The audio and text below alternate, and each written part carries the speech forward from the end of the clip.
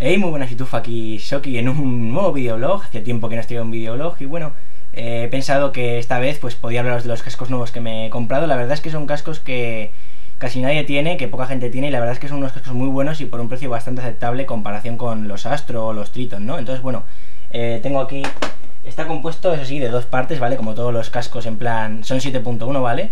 Eh, estos son los, los cascos, voy a enseñaros ahí a cámara están apagados ahora mismo porque eh, tengo que conectarlos y tal, pero bueno, como veis, voy a explicaros los cascos. Eh, se llaman, bueno, en primer lugar, como estáis viendo en el título, se llaman Omega Recon 3D de la marca, de la marca, perdón, Sound Blaster. Y bueno, la verdad es que estoy muy contento con ellos. Os digo, voy a enseñaros, eh, voy a buscar aquí. se encenden, tiene un botón para encender aquí, luego tiene aquí para bajar, subir volumen. Esto que tiene detrás es el mute del micro, pero no, no, funciona, es decir, no sé cómo funciona en realidad. Sé que tiene un mute este cable, ¿vale? Este cable es el que va al... Voy a dejar los cascos por aquí.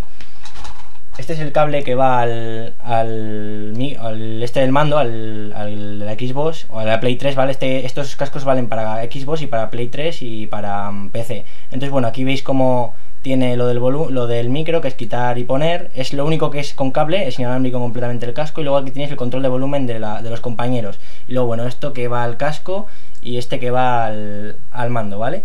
Así que bueno, voy a explicaros el, luego sería el decodificador de audio, ¿no? Que sería este, la verdad es que es bastante pequeñito, como veis ya os he dicho es inalámbrico, eh, cosa que se agradece mucho.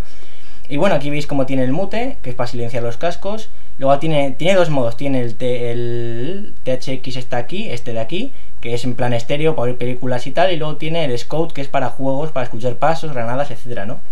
Y bueno, luego tiene aquí para sincronizar los cascos, lo estáis viendo aquí. Y bueno, en principio nada más, tiene salida óptica, esta de aquí es la salida óptica, esto se conecta a la Xbox o la Play 3 y eh, esta es la fuente de alimentación, el USB, que eh, se conecta también a la consola donde queráis y aquí es donde eh, recibe la corriente, ¿no? No hace falta que lo enchuféis a ninguna fuente de alimentación, sin más se alimenta con un USB. Y luego eso es para conectarlo a las consolas. Y luego para conectarlo al ordenador, lo que tenéis que hacer es solamente poner el cable del USB al ordenador, del cacharro este al, al ordenador y ya se conecta, ¿vale? Eh, no tenéis que poner la salida óptica ya que el PC que yo sepa no tiene, ¿vale? Entonces, bueno, yo me va muy bien con ellos, ya os digo, le he probado para escuchar música en el PC, para oír películas en el PC, para jugar a la Xbox y la verdad es que estoy muy contento con ellos. Eh, si os interesa el precio, a mí me han costado, bueno, hay en PC Componentes, pero yo lo he comprado en Mercado Virtual, creo que se llama la página.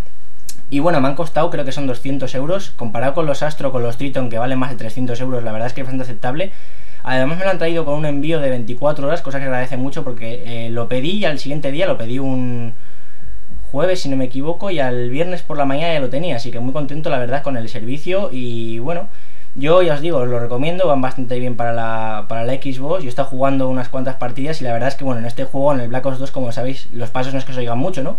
Pero bueno, con estos cascos se oyen, si te estás un poco quieto y escuchas un poquito callado y tal, sin hacer ruido, pues sí que se oyen, ¿no? Eh, hombre, evidentemente no es como el, como el Modern Warfare 3 que se oía muchísimo, pero bueno, la calidad de audio yo creo que es muy buena. Ver películas, ya digo, con el modo de THX, que es el estéreo, pues se oye de, vamos, que alucinas, es el, es el sonido que se pone en los cines, vamos.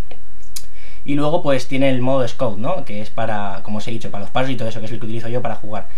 Así que bueno, chavales, espero que os haya gustado este review. Sin más, esos son los cascos, os lo vuelvo a enseñar para que los veáis. Que se me caen, si no, vale.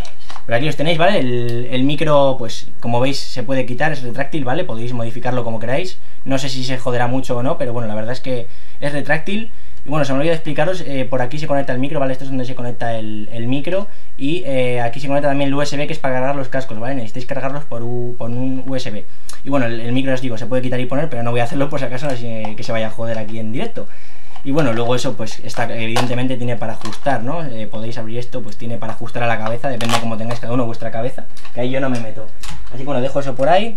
Y bueno, eh, sin más despedirme chavales, espero que os haya gustado este videoblog. Eh, si os interesa más el tema de los cascos, yo buscaría más que vosotros, bueno, por si fuera vosotros, yo estoy buscando bastante información y tal, y la verdad es que la gente está muy contenta en general con estos cascos, y son cascos que en plan youtubers y así no he visto que tenga mucha gente.